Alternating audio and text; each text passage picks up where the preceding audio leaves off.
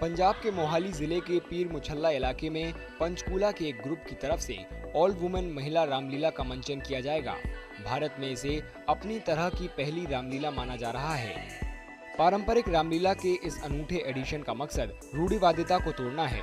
साथ ही उन लोगों को भी चुनौती देना है जो ये मानते हैं कि रामलीला में सिर्फ़ पुरुष ही परफॉर्म कर सकते हैं।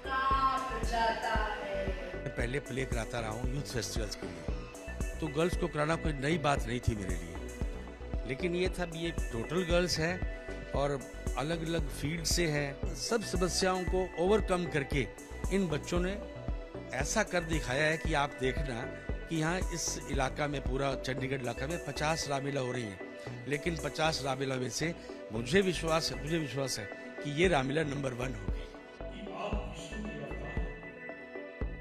इस रामलीला का मकसद युवा पीढ़ी और सांस्कृतिक परंपराओं के बीच की खाई को पाटना भी है।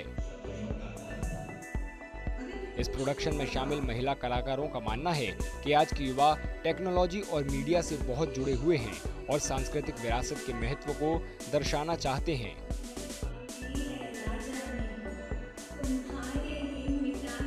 सनातन जब बात हो और रामलीला की बात ना हो तो सनातन अधूरा रह जाए। हमारा मेन मैसेज आगे वाली पीढ़ी को हम अपने आप से जोड़ पाए।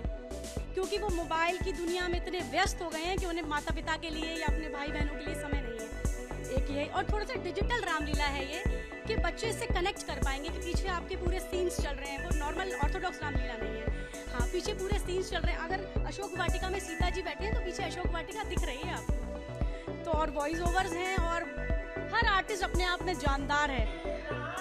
इस ऑल वुमेन रामलीला में आठ महीने से लेकर सत्तर साल तक की अलग अलग आयु वर्ग की महिलाएँ कई भूमिकाएँ निभा रही हैं। इस सांस्कृतिक उत्सव में तीन पीढ़ियों को एक साथ परफॉर्म करता देखना खुशी की बात है।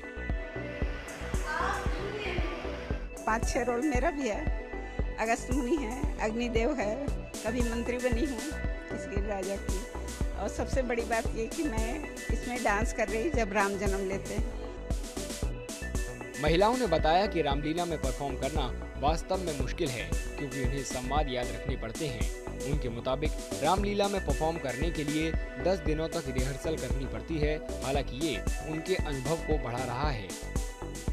ऐसी कई खबरों के अपडेट पाने के लिए नवभारत को सब्सक्राइब करें लाइक करें और शेयर करें।